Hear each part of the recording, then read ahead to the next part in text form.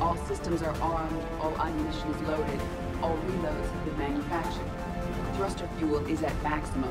Cyber warfare suites have evolved in ways that would be computationally impossible to predict. I have also kissed Joker for luck. How's your focus, EDI? Any big questions? No, Any small questions? no. Any lingering issues? About what? An imperfect designer who could be seen as a warped father figure, maybe? Definitely not. Did something prompt this line of questioning? I've just learned you have to ask about these things.